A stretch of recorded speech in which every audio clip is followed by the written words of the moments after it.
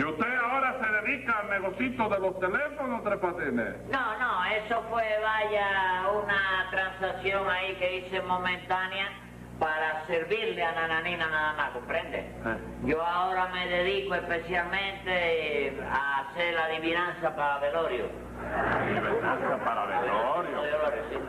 Sí. A ver cómo funciona el negocio ese. Bueno, chico, pues tú te enteras donde hay, por ejemplo, un cadáver, un muerto, donde lo tienen que velar la noche entera. Un cadáver y un Sí, muerto. mu- Es la misma cosa. No, es por eso dice usted un cadáver y un muerto. Sí, sí, tú te enteras, entonces va, celebra ahí una conferencia con los dolientes, habla con ellos, y entonces tú le haces ver que con tres adivinanzas buenas, la gente no te abandona el cadáver en toda la noche. Tiene lógica eso. Sí, porque unas veces por sueño y otras por aburrimiento. Sí.